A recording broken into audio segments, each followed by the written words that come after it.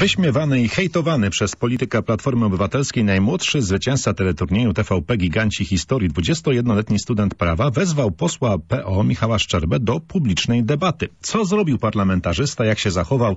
O tym właśnie rozmawiam ze zwycięzcą teleturnieju TVP Giganci Historii Oskarem Szafarowiczem, którego bardzo serdecznie witam na naszej antenie. Dzień dobry panu. Dzień dobry, pozdrawiam wszystkich słuchaczy. Witam bardzo serdecznie. Najpierw, e, gdyby proszę przyjąć e, serdeczne gratulacje z powodu no, brawurowego zwycięstwa e, w tym teleturnieju. Serdecznie dziękuję. Pan po wygraniu tego teleturnieju TVP Giganci Historii został zaatakowany przez bardzo wiele osób, ale w tym posła Platformy Obywatelskiej Michała Szczerbę. Pan zarzucił posłowi Szczerbie kłamstwo. Proszę wyjaśnić dlaczego.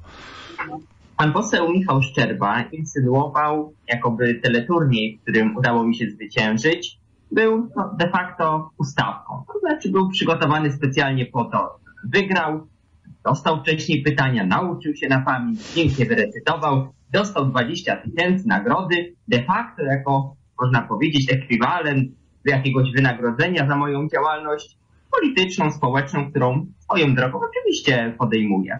Mhm. Było to absolutnie nieprawdziwe stwierdzenie pana posła. Natomiast zastanawiałem się, jak się do tego odnieść.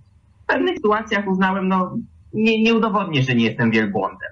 Nie będę tłumaczył tutaj pewnych oczywistych rzeczy, że to był rzetelny, uczciwy teleturniej, w którym wystartowałem, konkurując moją wiedzą, którą wcześniej zgromadziłem. Dlatego odpowiedziałem panu posłowi, proponując mu honorowe rozwiązanie, to znaczy debatę.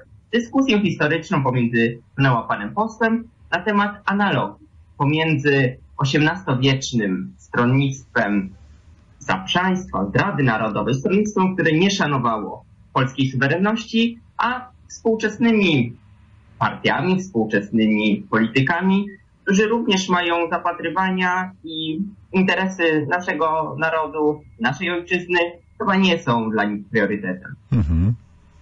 No właśnie, y, jaka była reakcja y, pana posła, no wieloletniego jednak parlamentarzysty z doświadczeniem, y, co, co, co on zrobił? Początkowo wymownie milczał, nie odnosił się zupełnie do mojej propozycji, którą ponowiłem poprzez oficjalny list, który wysłałem panu posłowi. Natomiast nagle pojawiło się w wielu miejscach w internecie, na grupach zwolenników opozycji, no cała masa olbrzymiego hejtu. Pod moim adresem, pod adresem mojej, mojej rodziny pojawiły się różne groźby, zostanę relegowany z uczelni jako student prawa, hmm. moi rodzice będą zwolnieni z pracy i tak dalej. No masa naprawdę bardzo, bardzo nieprzyzwoitych treści, które, które atakowały mnie i moich bliskich. Tam poseł milczał. I nagle wczoraj wieczorem zostałem jak to się mówi, zbanowany, zablokowany przez pana posła e, na Twitterze, gdzie ponowiłem tę swoją propozycję. No i tak pan poseł przeciął sprawę, nie odnosząc się do niej, tylko ucinając wszelki kontakt. No, e, ani można, nie przeprosił, ani nie przyjął propozycji. Można to podsumować e, prostymi słowami. Po prostu się przestraszył. Bał się tego wyzwania, które pan mu postawił, jak, jak mnie mam. Ale jeśli pan pozwoli, bo jednak ten dźwięk tutaj e, ze studia jest troszeczkę lepszy, więc ja pozwolę sobie naszym słuchaczom przybliżyć choć fragment dosłownie pisma skierowanego do pana posła Szczerby, które pan do niego napisał już w tym oficjalnej wersji, zapraszając go do dyskusji. Otóż, proszę państwa, brzmiało, brzmi brzmi to tak.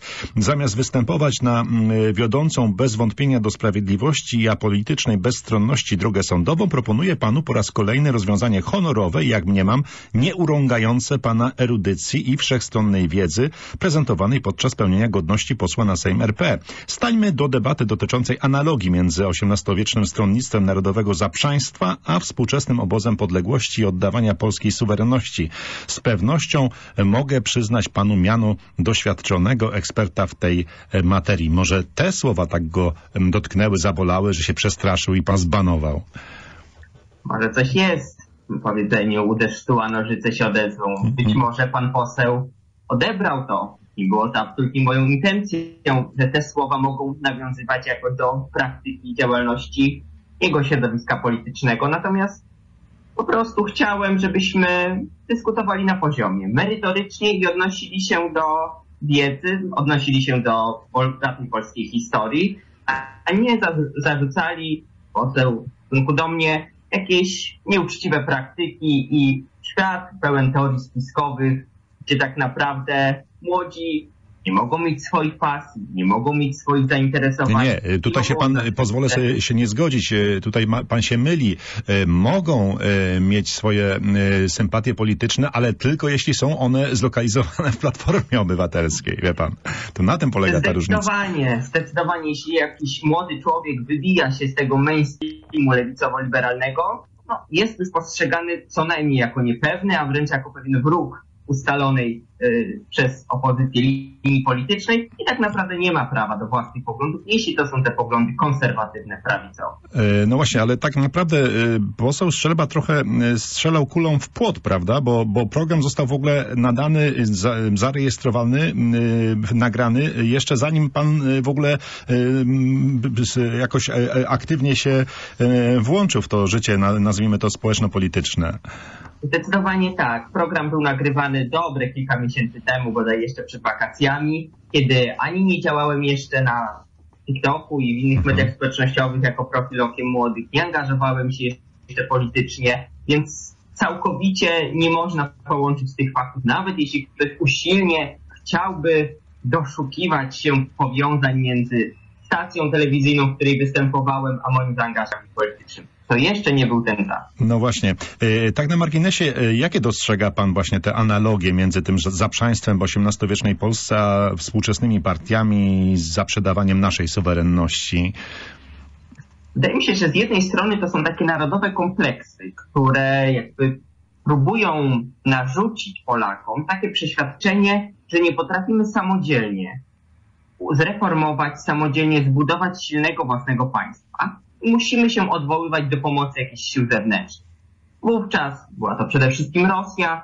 Dzisiaj, no, niestety w pewnych aspektach też bywało w naszej historii współczesnej, że była to Rosja i polityka pewnego resetu, ale częściej, no, jednak są to czy Niemcy, czy kierownictwo Unii Europejskiej zlokalizowane w, e, w Brukseli oczywiście. Natomiast jest to też takie przeświadczenie w moim odczuciu, że gdy są jakieś spory, które powinniśmy załatwiać wewnątrz naszego kraju, spory natury naprawdę merytorycznej, to niestety są siły polityczne, takie jak część, bo część obecnej opozycji, które wolą jako arbitra wybierać jakieś środowiska zewnętrzne, a wręcz przeciwko swoim oponentom politycznym, czyli obecnej partii rządzącej, stosować jakieś środki nacisku właśnie z zewnątrz, czy to w postaci sankcji, Komisji Europejskiej, rezolucji Parlamentu Europejskiego, ponad 40 już takich zgłosili europosłowie opozycji.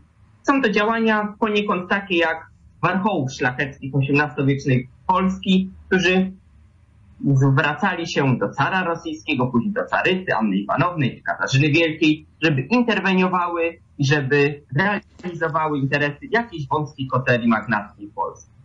No tak, e, tu po tym krótkim wywodzie już można zrozumieć e, w jakimś sensie pana posła Szczerbę, że po prostu się przestraszył uczciwej debaty e, z panem na tematy historyczne, które wcześniej u pana wyśmiewał, ale ponieważ zaczęliśmy od hejtu, okropnego hejtu z ust również pana posła Platformy Obywatelskiej, jak i, jak i jego sprzymierzeńców, to chciałem zapytać na koniec, jak inni zareagowali? Czy miał pan też, otrzymywał gratulacje? Jak to, jak to wyglądało po turnieju? Turnieju.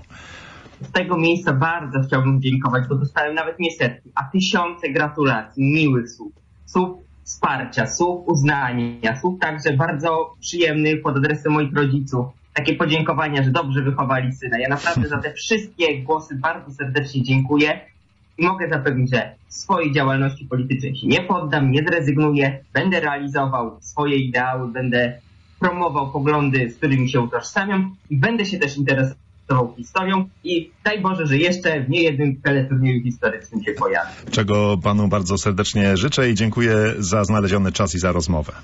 Dziękuję serdecznie i pozdrawiam. Wszystkiego dobrego. Zwycięzca teleturnieju TVP Giganci Historii Oskar Szafarowicz, który rzucił rękawice e, parlamentarzyście Platformy Obywatelskiej Michałowi Szczerbie, by ten stanął do debaty.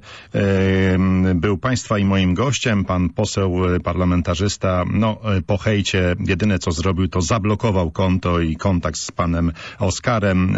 Mówiąc w największym skrócie po prostu się go chyba przestraszył. Bardzo dziękuję raz jeszcze za rozmowę.